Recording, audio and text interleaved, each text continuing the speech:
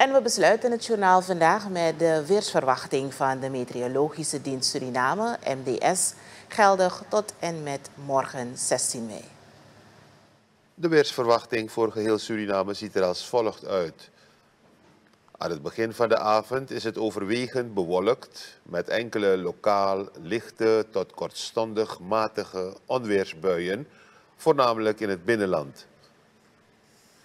Naarmate de avond vordert, zullen de buien geleidelijk afnemen. Aan het eind van de avond zal zich plaatselijk nevel en of mist ontwikkelen. Morgenmiddag is het lokaal tijdelijk bewolkt met enkele lokaal lichte regenbuien.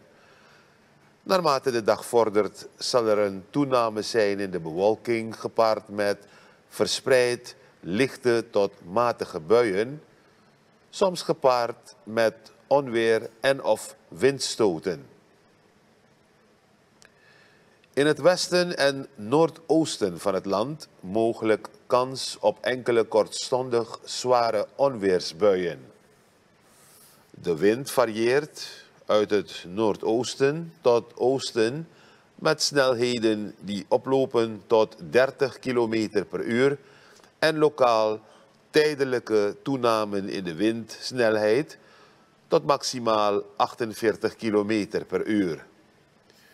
In de districten Paramaribo, Wanica, Saramaka, Coroni, Nikeri en Para zullen er in de middag perioden zijn met onweersbuien en soms windstoten, terwijl er in de nacht tijdelijke bewolking zal zijn.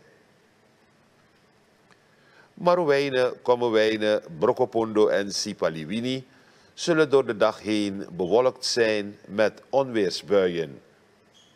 In het hele land schommelen de, de, temperaturen tussen minimaal 20 graden Celsius en maximaal 31 graden.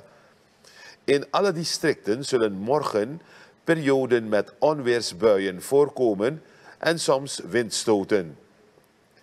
In de avond van vandaag, 15 mei op 16 mei, zal het in de districten Paramaribo, Wanica en Para tijdelijk bewolkt zijn met buien. In de districten Marowijnen en Kommerwijnen zullen lichtelijke buien voorkomen met overwegend droog weer. De meteorologische dienst waarschuwt dat er morgen in het westen en noordoosten van Suriname matige tot zware onweersbuien wordt verwacht, gepaard gaande met windstoten.